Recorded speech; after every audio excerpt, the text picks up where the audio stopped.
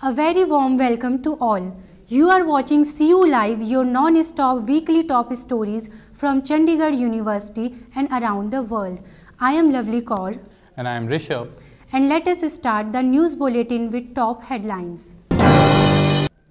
CU signs MOU with MHRD for the Government of India Study in India initiative, thereby becoming one of the partner universities for the program. Annual open house sessions and endeavor that fosters transparent environment between the management and the students of Chandigarh University successfully actuated. CU becomes the organizer of one of the biggest youth festivals of Punjab. The mega event is stated to happen on 30th and 31st of January 2020. Stories in detail.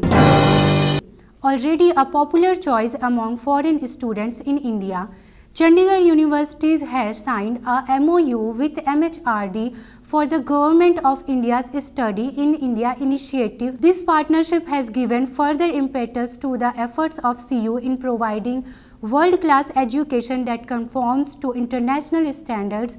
Via this industrious partnership, the university plans to enhance the quality and experience of the international students who choose CU to be their destination for education.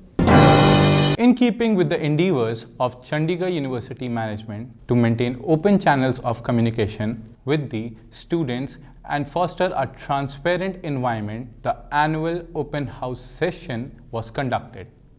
The students were encouraged to directly share their concerns and communicate with the management in order to attain greater insights into university programs, its functioning, policies, and other operational aspects.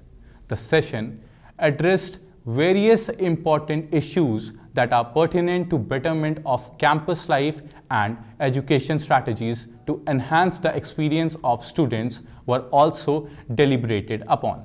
Every year, CU organized an open house session for their student, where all the problems of the students were addressed by the Honorable Vice Chancellor Dr. R.S. Bawa. With camera person Praveen Singh, this is Karan Verma, Chandigarh University.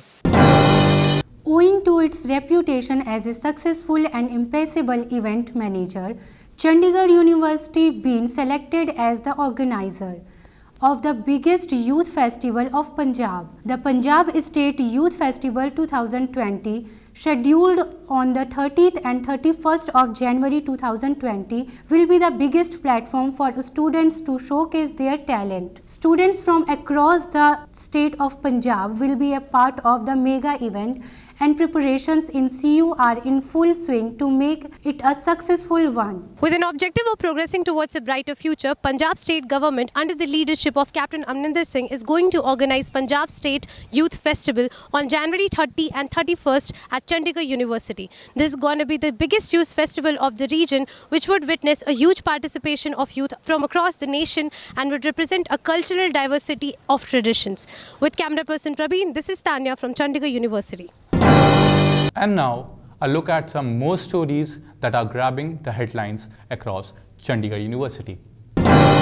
Chandigarh University being an amalgam of cultures from all around the globe is an inclusive multicultural environment home over 3000 South Indian students, the university is all set to celebrate the harvest festival Pongal, which fuels the farmers with happiness for new beginnings and gratitude for the past. Chandigarh University feels proud to see its alumni scale greater heights of success. Ranveer Grewal, an alumnus of CU and a popular singer and a lyricist, is releasing his brand new musical track, Guglu Muglu, with the famous Punjabi singer Jasmine Sandlas.